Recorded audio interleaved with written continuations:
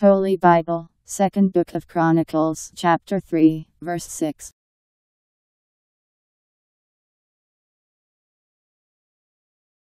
And the house was made beautiful with stones of great value, and the gold was gold of Parvaim.